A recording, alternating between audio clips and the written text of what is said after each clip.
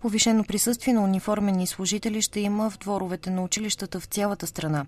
Пътни полицаи ще бъдат около питейните заведения, където се очаква зрелостниците да продължават с празненствата и след излизането им от ресторантите.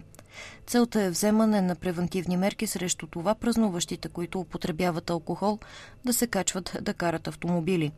От полицията отчетоха, че за миналата година по време на абитуриентските балове са съставени повече от 400 акта. 90 са за неизползване на колан при возене и показване от прозорци на автомобили. 10 има за зрелостници, които пък са се возили на мотор без каска, а 60 са актовете, които полицаи са съставили на водачи за неправилен превоз на пътници.